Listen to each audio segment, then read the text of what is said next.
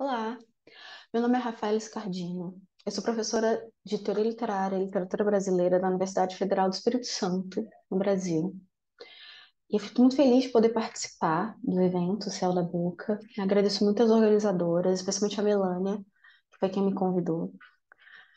E no material de divulgação do evento, havia uma questão, uma pergunta, que ressoou muito forte com as, né, com os anseios, com as investigações que eu venho fazendo diante do arquivo do modernismo brasileiro, né?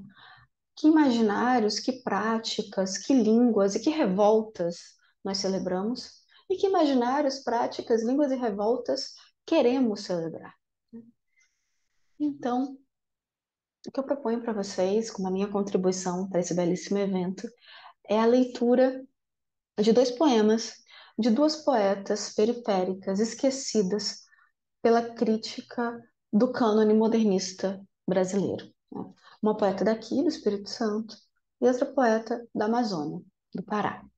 Eu vou projetar aqui os poemas para que vocês possam é, me acompanhar. A primeira poeta que eu vou apresentar para vocês é a Aide Nicolucci.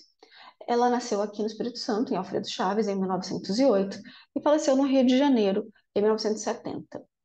Essa foto é a foto da primeira prisão política dela, que aconteceu em 1932. Ela teve uma outra prisão mais longa, que foi decorrente do, da sua participação na Intentona Comunista de 1935, que foi um movimento de esquerda uh, liderado pelo Luiz Carlos Prestes, que visava acabar com a ditadura de Getúlio Vargas. A AED tem uma. Infelizmente, ela só publicou um livro de poemas durante a vida, e mesmo a sua produção uh, de crônicas e jornais é relativamente pequena, ela passou por diversas dificuldades financeiras, né, por conta do seu passado de comunista.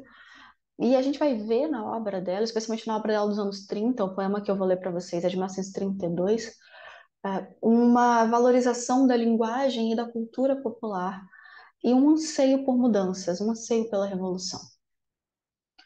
É, o poema foi publicado na revista Vida Capixaba, essa era a capa, uma revista né, é, muito ainda conservadora, né? Essa é a página em que aparece o poema Zabumba, num, numa página de concurso literário. E aqui a transcrição do poema Mantendo a Grafia, de 1932. E diz o texto: Zé Pereira, ai, Zé Pereira, que é feito da minha infância, Zé Pereira? Você carregou minha inocência no seu bombo lá pro Congo. Ai, Zé Pereira, que saudade da minha meninice. Hoje tem espetáculo? Tem, sim, senhor. Tem de noite e de dia? Tem, sim, senhor. E o palhaço e a mulher? Tem, sim, senhor. Sururu na freguesia? Tem, sim, senhor. Chorei. Chorei porque meu amor disse que ia me abandonar. Tombei. Tombei e mandei tombar o menino vadio de perna pro ar. Ai, Zé Pereira, Zé Pereira, a vida ficou tão triste, as coisas estão tão longe. Nunca mais a idade de ouro dos idílios, nunca mais sonhos de amores sossegados. Os noivos ricos envenenaram o mundo. Os noivos pobres estão desempregados. Nunca mais contos de fadas da vozinha quando a infância em roda do braseiro. Menino rico sai da escola para a polícia, menino pobre é escoteiro. Zé Pereira, ai Zé Pereira, Vem fazer um zabumba aqui para as crianças grandes que estão tão tristes, tão sozinhas, condenadas a morrer na guerra. Vem fazer um zabumba decisivo, de verdade, com todos os gritos da mocidade traída nos seus direitos, com todas as críticas às autoridades falsificadas, zabumba de dor e de lágrimas transfiguradas na noite acesa de tochas e de cânticos vermelhos. Hoje tem revolução, tem, camarada. Contra a guerra imperialista? Tem, camarada. Contra a fome e a opressão?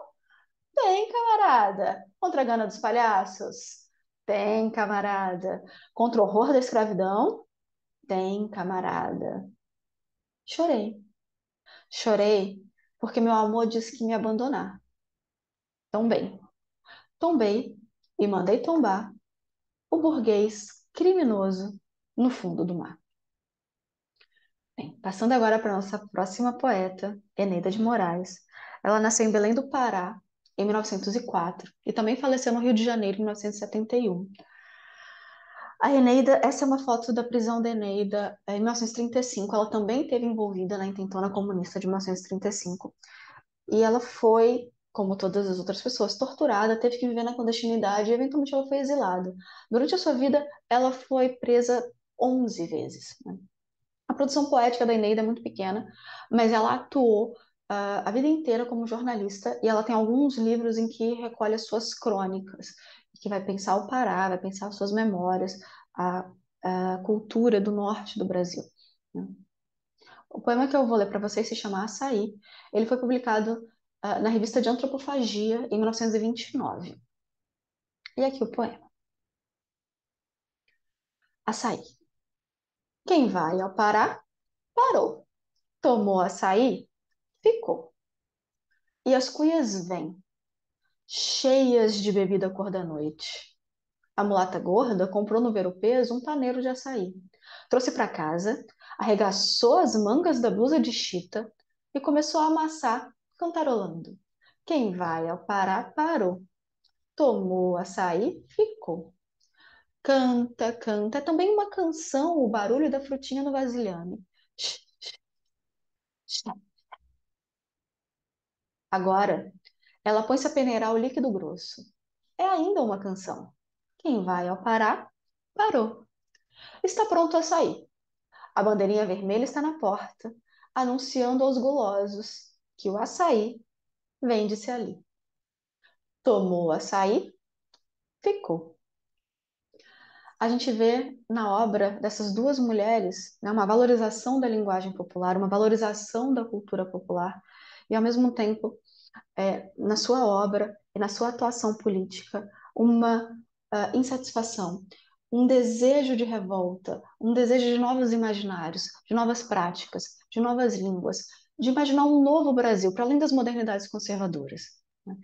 E é, são essas as vozes que a gente precisa, 100 anos depois, recuperar. São essas as vozes que 100 anos depois a gente precisa amplificar para que elas atinjam mais pessoas, mais poetas, mais uh, jovens estudantes que possam nos ajudar né, a criar, sonhar diferente, a imaginar diferente, a criar práticas, línguas e revoltas uh, que reinventem um Brasil nesse momento tão necessário.